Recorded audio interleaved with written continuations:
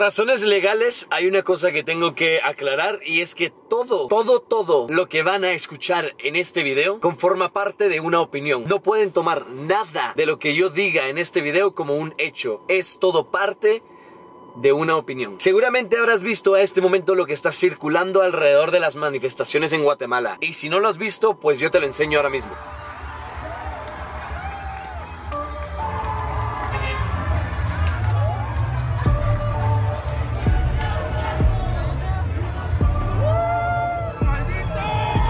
Entre otras cosas, lo que estás viendo en pantalla son peleas entre manifestantes y antimotines y cosas o acciones tan graves como por ejemplo el prenderle fuego al Congreso de la República de Guatemala.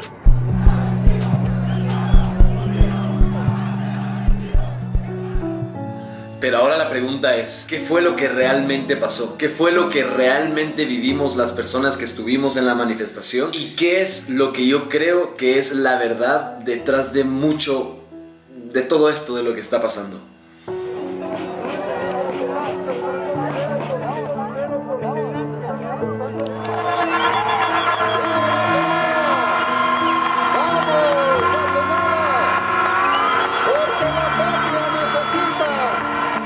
Todas las personas que estuvimos en esa manifestación sabemos que la realidad no fue esta, que la realidad no fueron estos disturbios. La realidad fue pacífica, la realidad fue gente cantando, diciendo lo que sentía, gente gritando, fue gente llorando, fue gente diciendo a los cuatro vientos lo que sufre al vivir en este país.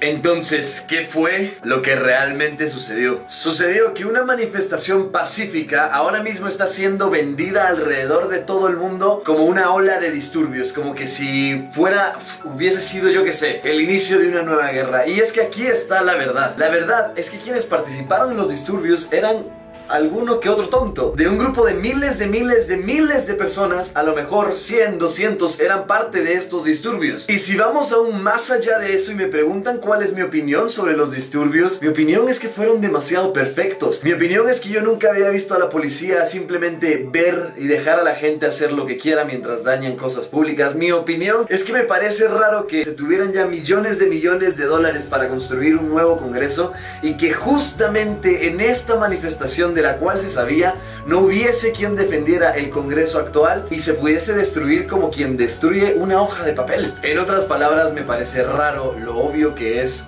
como incluso el gobierno metió mano en las manifestaciones, llegando al punto incluso de tirar bombas lagrimógenas en una plaza en donde la gente estaba manifestándose pacíficamente. El gobierno fue capaz de atacar sin razón alguna a su propia gente. Y es entonces con eso con lo que quiero concluir este video. Estas manifestaciones no son a favor de la izquierda ni tampoco a favor de la derecha. Estas manifestaciones no se tratan de cuál sea tu pensamiento económico, de cuál sea tu postura en ciertos temas polémicos. No se trata de buscar imponerle a nadie una forma de pensamiento. Estas manifestaciones se tratan de ir en contra de algo que está mal. Y eso que está mal es un gobierno que constantemente ataca a su gente. Cuando dejan a miles de niños comiendo basura mientras ellos comen salmón. Cuando los recursos que son destinados para ayudar los usan para ayudarse a ellos, cuando con su corrupción de mierda día tras día se van quedando lo que no les pertenece. Ahí sí que nos atacan y el defendernos no tiene atrás ninguna ideología, simple y sencillamente tiene atrás el querer estar mejor, porque por mucho que me duela decirlo, que Guatemala es un país